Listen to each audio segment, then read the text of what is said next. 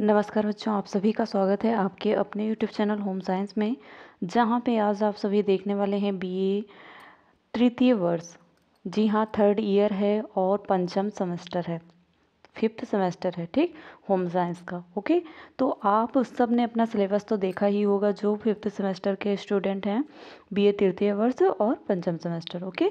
तो सामुदायिक विकास एवं कार्यक्रम योजना ये आपका पेपर है और क्लास आज आप सबकी फ़र्स्ट है और बहुत जल्दी ही पूरा कवर कर लेंगे सिलेबस, ओके?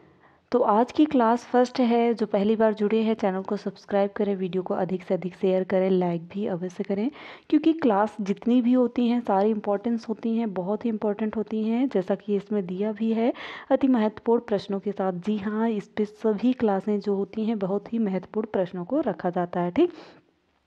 तो सामुदायिक विकास एवं कार्यक्रम योजना में आज मैंने शॉर्ट प्रश्न रखा है, जो आपके लिए इम्पोर्टेंट हैं।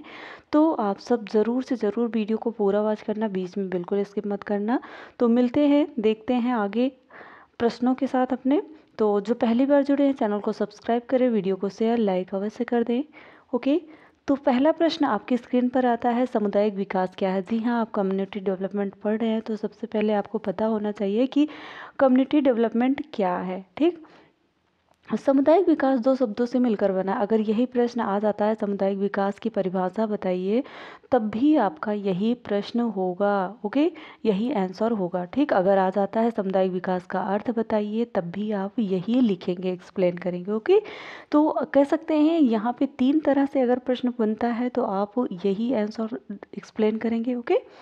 तो समुदाय विकास दो शब्दों से मिलकर बना है समुदाय एवं विकास। ठीक समुदाय ऐसा समूह है जिसमें व्यक्ति किसी एक भौगोलिक स्थान गाँव, जिला प्रांत आदि में निवास करते हैं करते हों तथा जीवन यापन अथवा कृषि के लिए एक दूसरे पर निर्भर हों।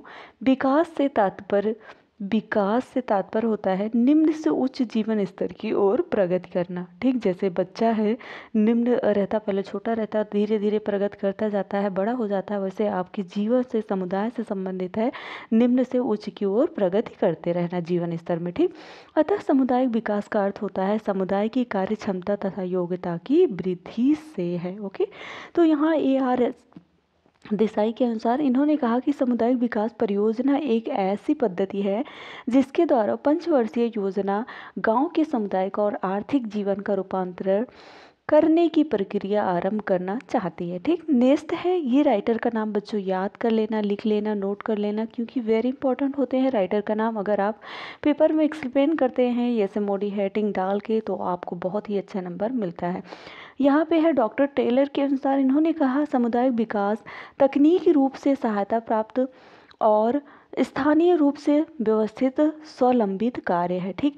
ये बहुत ही इंपॉर्टेंट प्रश्न अब बनता है। आपके पेपर में हंड्रेड परसेंट पूछा जाएगा कि विश्व स्वास्थ्य संगठन, जिसे हम डब्ल्यू एच ओ कहते हैं, अगर इंग्लिश में कहा जाए तो वर्ल्ड हेल्थ ऑर्गेनाइजेशन होता है, ठीक? तो विश्व स्वास्थ्य संगठन का पूरा नाम होता है वर्ल्ड हेल्थ ऑर्गेनाइजेशन। यहाँ पे इंग्लिश में भी देख लेना। तथा अंग्रेज़ी में संक्षिप्त नाम अगर शॉर्ट में देखा जाता है तो डब्ल्यू एच ओ बोला जाता है, ठीक? यह भी संयुक्त राष्ट्र संघ का विशेष संगठन होता है। ये कहाँ का संगठन होता है? संयुक्त राष्ट्र संघ का। और इसका जो मुख्यालय होता है, ये बच्चों बहुत बनता है। अगर कोई कॉम्पिटेटिव एग्ज़ाम होता है तो उसमें भी पूछा जाता है डब्ल्यू एच ओ का मुख्यालय कहाँ है? तो जिनेवा है, स्विट्ज़रलैंड, जिनेवा में स्थित है, ठीक? इस संगठन का संविधान सन 1946 में टेक्निकल प्रिपरेटरी कमेटी द्वारा श्री रैन रेनेसेंड की अध्यक्षता में बनाया गया किसकी रेनेसेंड की अध्यक्षता में? बाद में सात अप्रैल सन 1948 में न्यूयॉर्क में भी अंतर्राष्ट्रीय स्वास्थ्य सम्मेलन में इस संगठन को स्वीकृति प्रदान की गई, ठीक? वहीं इसका इसका स्थापना दिवस, इसलिए अब भी प्रतिवर्ष सात जुल, सात अप्रैल को विश्व स्वास्थ्य दिवस मनाया जाता है। अगर विश्व स्वास्थ्य दिवस जो है, सात अप्रैल को मनाया जाता है, यही डब्ल्यू एच ओ की लिए मनाया जाता है, ठीक? विश्व स्वास्थ्य संगठन के कार्य क्या हैं? आइए जान लेते हैं, इसके कार्य निम्नलिखित हैं।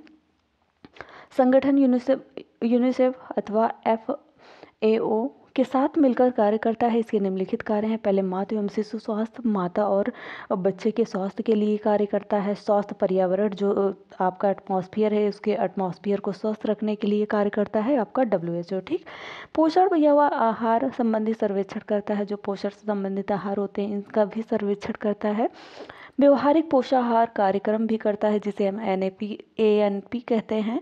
जन स्वास्थ्य एवं संक्रामक रोगों से बचाव का मूल्यांकन भी करता है। जैसे कि आपका कोरोना वायरस जब फैला था तो डब्ल्यू एच ओ ने इस पर कार्य किया था। ठीक। प्रसार कार्यक्रम के आवश्यक तत्व कौन से होते हैं? चलिए जानते हैं प्रसार कार्यक्रम के आवश्यक तत्व। पहला आता है प्रसार कार्यक्रम के। सबसे पहले आपको कार्यक्रम का नियोजन प्रक्रिया होती है। पहले आप नियोजन बनाएँगे, उस प्रक्रिया को करेंगे, फिर लिखित प्रक्रिया, वक्तव्य करेंगे, फिर कार्यक्रम की विस्तृत योजना बनाएँगे, शिक्षण व अन्य प्रसार कार्य की। पहले कार्यक्रम क्या करेंगे, इसकी जानकारी करेंगे, प्रोसेस करेंगे, ठीक? प्रक्रिया करेंगे, फिर लिखित रूप से उसे आप रखेंगे। कार्य की विस्तृत योजना बनाएँगे, किस तरह से कार्य को करना है, फिर कार्यक्रम निष्पादन, सभी योजनाबद्ध गतिविधियों को पूर्ण करना है, फिर उसका परिणाम क्या प्राप्त होगा, फिर मूल्यांकन व समीक्षा, ये सभी प्रक्रिया से होकर गुजरना पड़ता है प्रसार कार्य को। नेक्स्ट है कारपेट। कपाट के उद्देश्य। कपाट के उद्देश्य क्या है बच्चों?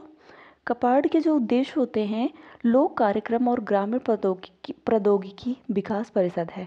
ग्रामीण विकास मंत्रालय के निर्देशों के अंतर्गत कार्य करता है और कपाट ग्रामीण क्षेत्रों में कार्य प्रणाली के सुधार का उद्देश्य लेकर कार्यरत है। विशेषता समाज के दलित तथा सामाजिक रूप से पिछड़े वर्गों के लिए कार्यरत है। अतः गरीबी रेखा के स्तर से नीचे वाले जो लोग होते हैं, अनुसूचित जाति, जनजाति के लोग बधुआ मजदूर, अपंगों, बच्चों तथा स्त्रियों को प्रमुखता देना का, कपाट का प्रमुख उद्देश्य होता है।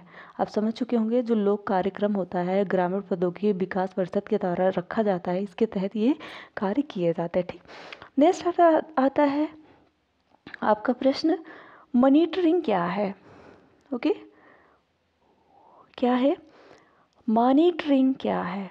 ठीक मॉनिटरिंग एक ऐसी प्रक्रिया है जिसके द्वारा हम प्रेरक को उसकी क्षमताओं एवं कमजोरियों की पहचान अभी तक लाइक नहीं किया तो लाइक करिए, ज़्यादा से ज़्यादा शेयर करें ओके और सब्सक्राइब भी अवश्य कर लें।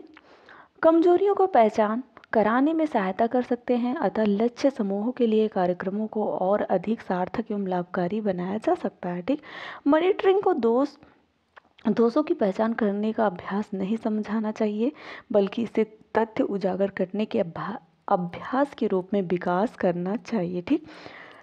नेक्स्ट आता है मॉनिटरिंग का मुख्य कार्य, कार्यक्रमों और गतिविधियों का सुचारू रूप से संचालित करने। एवं पूरा करने में प्रेरकों की सहायता करता है, करना है। इससे प्रेरकों को अपनी क्षमताओं, कमजोरियों, अवसरों और खतरों की पहचान करने में सहायता प्राप्त होती है।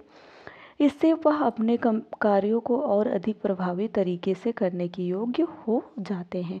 तो आई होप आज आपका सेशन बहुत अच्छा रहा होगा। फ़र्स्ट क्लास थी, फ़र्स्ट क्लास में मैंने बहुत शॉर्ट प्रश्नों को जो इम्पोर्टेंट थे थे रखे थे, वो आपके लिए सारे इम्पोर्टेंट हैं। ठीक? तो आप सब ज़रूर से ज़रूर पूरा वीडियो, आई होप आप देख चुके होंगे। नेक्स्ट क्लास में भी आप सब एकत्र रहना। मिलते हैं नेक्स्ट वीडियो में, नेक्स्ट टॉपिक के साथ। तब तक के लिए जय माता रानी।